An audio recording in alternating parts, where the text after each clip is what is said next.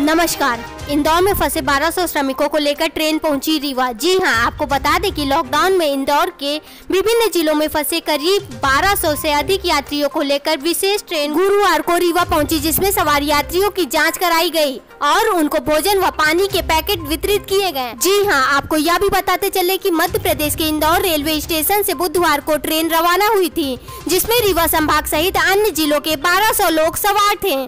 Train आज दोपहर 11 बजे रेलवे स्टेशन पहुँची ट्रेन में सवार यात्रियों को सोशल डिस्टेंसिंग का पालन करवाते हुए नीचे उतारा गया। जी हाँ, रीवा को छोड़कर सभी यात्रियों को रेलवे स्टेशन से बाहर निकालकर उनको बसों के माध्यम से अपने घरों के लिए रवाना किया गया।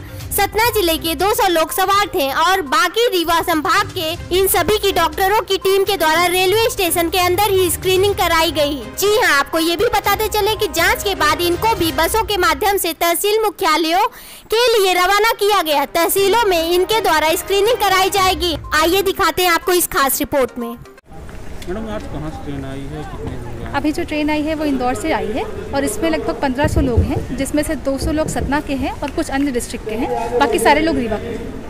क्या व्यवस्था की गई है? यहाँ पर प्रशासन की तरफ़ से इनके भोजन की व्यवस्था की गई है। मेडिकल चेकअप के उपरांत इनका भोजन की व्यवस्था पानी की व्यवस्था कराने के बाद इनको बसेस के माध्यम से इनके घरों तक पहुँचाया जाएगा अभी और इसके बाद अभी चार ट्रेन और आनी है जिसमें नासिक से पुणे से वापी से ट्रेन आने वाली है और एक पनवेल से भी आने वाली है। उसमें कहाँ कहाँ के लोग उसमें भी उसमें ऑल ओवर एमपी के अलग अलग ज़िलों के लोग रहते हैं तो उनको भी हम मेडिकल परीक्षण के उपरांत उनके ज़िले भेज देंगे। थैंक थे तो आज बारह से बच्चे आए इंदौर के फिर इंदौर से रीवा के। और इसमें दो सौ अस्सी दूसरे सेवरौदी हम लोग पूरी भर के हैं। मिला के चौदह सौ अस्सी लोग आज आए हैं इंदौर से। और ये भी आने की संभावना है दो ट्रेनों की और बातचीत चल रही है। जहाँ तक इंदौर के छात्रों की जो दिक्कतें थी वहाँ पे लोगों की जो दिक्कतें थी जो लोग अपने रीवा में चाहते थे इंदौर छोड़ के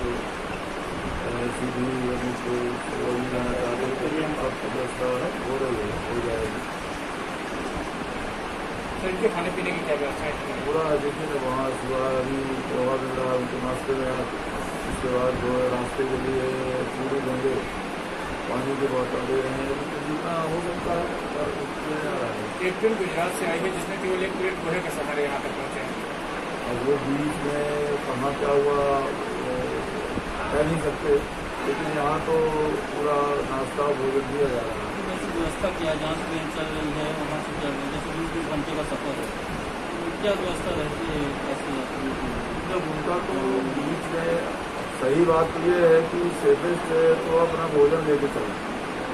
पर जो लोग नहीं कर पा रहे हैं तो वो अपना रास्ते में उनको वहाँ जहाँ से चलते हैं वहाँ से देते बाकी ट्रेन तो रुकती नहीं।